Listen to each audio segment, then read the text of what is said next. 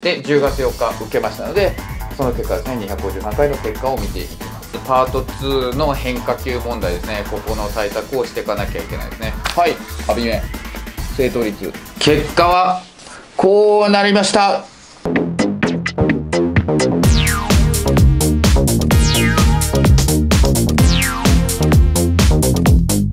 そうで始まりました。もちろチャンネルです。さあ、今回はですね、第253回トイック公開テストの結果が来ましたので、開けたいと思いますね。昔はオンラインの見てね、Twitter に上げて、その後これ来たら YouTube で上げるみたいな感じだったんですけども、YouTube チャンネルも大きくなったので、ネタバレするのとか嫌なんで、ネットのはね、もう見ないんですよ。もうこれで知る、自分自身もっていうですね、紙で知る、ネットのは結果見ないっていうのをやってるので、さあ、見ていきたいと思うんですが、まあ、2020年はね、えー、まあコロナの影響で中止が長く続いたんですけど、まあ、89回、もうね、ほんと89から90までの時間が非常にかかった。めんどくさかったですね。本当にもう3月、4月、5月、6月、7月全部中止だったので、受けられなかった。で、9月13日前回ですね、受けて、やっと90回目の満点を達成したという感じになります。で、10月4日受けましたので、その結果ですね、253回の結果を見ていきます。そして、えー、10月25日は落選しました。だから受けられませんでした。なんで受験しておりません。ただまあ、11月15日と12月6日は当選しましたので、なんで今年は1、2、3、4、5回、えー、受験できたと、受験できたというか、まあ、できるということになります。はい、それでは、開封してみたいと思いますね。えー、いつもの通り点数と、そしてアビリティーズメジャードっていうですね、正答率ね。まあもう点数しか皆さん気にならないっていう人はね、多いとは思うんですけど、やっぱ正答率もこっちからすると非常に大事なので、全問正解できたかっていうのがすごいあるんですよ。そう全問正解で満点っていうのがやっぱりすごいステータスなわけなんですね。まあ前回はね、全問正解で満点取りましたから、そういう記念になったわけですが、いきたいと思いますね。で、その後でいろいろと対策とかね、傾向と対策について話そうと思うので、 TOEIC 受ける方はそちらも見ていってください。あのね、点数だけ見て、はい、おしまいじゃなくてね、はい、ぜひ見てください。では、やってます。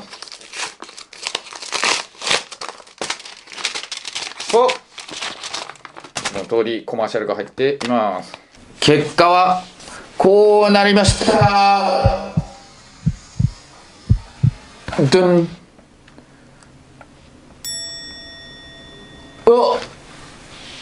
985だ。満点じゃない。うわ。なんと逃しました。ということで10月4日は満点じゃなかった。うっそ全問正解で満点っていうのがやっぱりすごいステータスなわけなんですね。全問正解で満点っていうのがやっぱりえー、そんな難しい問題なかったと思うんだけどなえー、正答率をじゃあ見ていきましょうはいでは見ていくんですけど、リスニングは公表してる動画では全部できたって言ってましたね。なんか、そうだ、めちゃくちゃ走って汗だくって言ったけど、できたって言ってましたね。ちょっと見てますさあ。リスニングどうだったのか。はい、アビメ。正答率100、100、100、100。ああ、全問正解ですね。という形でリスニングは全問正解してます。ねこれねここが全問正解できてもさ、ね、そリスニングなんて3問間違えても満点とかになりますからね。それに対してリーディングっていうのは一体何問ミスだったんでしょうね。何問ミスで満点逃したんだろう。はい。こうです。えー、っと、あ、一番上が96になってる。96、100、100、100、100、100。あー、1箇所だけですね。うわ、1問かな。1問ミスですよね。うん、多分そうですね。2%で2問ってことはまずないと思うんだよね。多分4%だと思うんで、うわ推測できる推測問題か。えー、何間違ったんだろう。終わった後はできなかったっていう感じはなかったんですけどね。うわー、わかんないもんですね。まあ、アビリティーズメジャーで見ていきますが、全体的には高めですね、リスニング。はい、分析していきますが、71、70で82ですからね。かなり高い。そして74で、最後のフレーズや文、話の目的が暗示されている意味が理解できるが61%で圧倒的に低いですね。他が70代、80代なのに対して、これが60%ですから、だいぶ低い。やはり、まずパート2の変化球問題ですね。ここの対策をしていかなきゃいけないですね。この質問が投げかけられたのに対して直球で答えてないやつですね。いつですか？どこですか？とかっていうのを聞かれたのに対して何時です？とか何日です？とかどこどこですっていう風に答えないやつですね。遠回しに答えるやつの対策が大事になってきますね。それがかなりの割合パート2では出てきます。そしてパート3、4では意図問題ですよね。発言の理由とか発言の意図を答える問題です。詳しい分析に関してはですね、広前田さんが分析している動画出てますので、そちら見てください。えー、続いてリーディングですね。リーディングは随分正答率が違いますよね。53、59、52、68、76という形で結構低めに出てますね。で、やはり推測と照らし合わせ。ここが53、52で非常に低く出てますよね。ただ具体的な情報も60%切って59なんで結構厄介なことになってますね。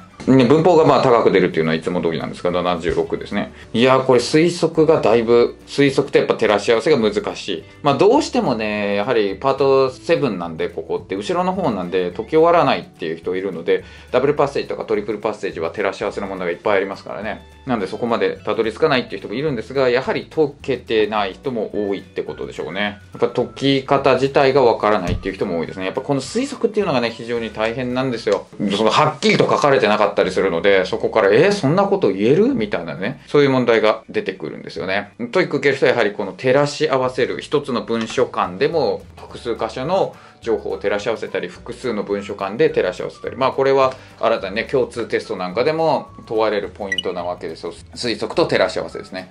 この辺のことはしっかりとできるようになっていかなきゃいけません。それは痛感してますしやはり長くなってるっていうのがある、うん、文章がすごく長くなってますのでそこの対策をきちんとしておかなきゃいけない。長い文章が出てきてもきちんと答えに関係ある情報をを抜き取る力ですね。で、あとは本文の表現と選択肢の表現言い換えられることが多いですから、きちんと言い換え表現を見抜くと。これらをね、きちんとマスターできるようにしていかないといけないでしょうね。いやー、そうか。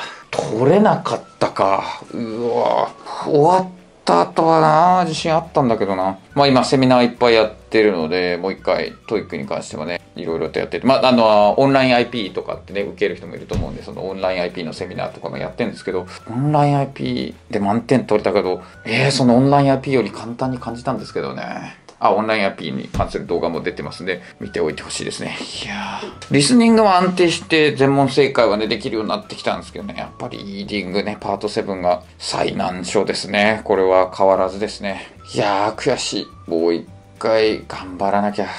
はい。来月リベンジ。来月とかもう今月か。リベンジしたいと思いますね。11月15日頑張って。でも朝なんですよね。今寝てる時間に受けるんだもんな。まあ10時とかですよね、開始。で、それを9時50何分だっけまでにはね、会場にいなきゃいけないので、近場の会場に当たることを願ってですね、やりたいと思います。まだ来てないですよね。受験票まだ来てないもんね。はい。頑張って受けたいと思います。うわぁ、辛い。はい。はぁ、いやー、ショック。はい。ご視聴ありがとうございました。今後もよろしくお願いします。最後の動画良かったら高評価、チャンネル登録よろしくお願いします。はい、ご視聴ありがとうございました。Thank you for watching.